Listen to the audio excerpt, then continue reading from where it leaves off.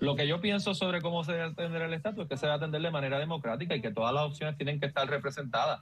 Y si aquí hay personas que quieren que Puerto Rico haga la reunificación con España y consigan 50 mil firmas, que estén en el plebiscito o en la Asamblea de oiga, también. Oiga, me tengo que ir, pero usted está en un partido, militando en un partido en Estados Unidos que acaba de eliminar al Estado Libre Asociado de, de su programa de gobierno. Porque...